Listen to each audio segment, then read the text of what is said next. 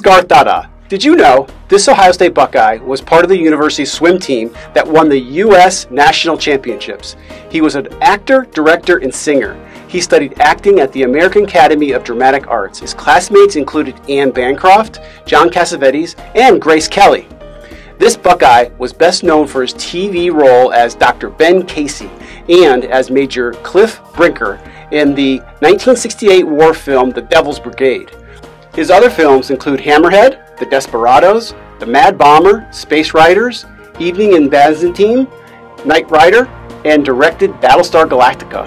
Vince Edwards was a compulsive gambler for many years, acknowledging that he had sacrificed a good portion of his career to a gambling addiction. In his last years, Edwards and his wife Janet attempted to educate others about the dangers of gambling.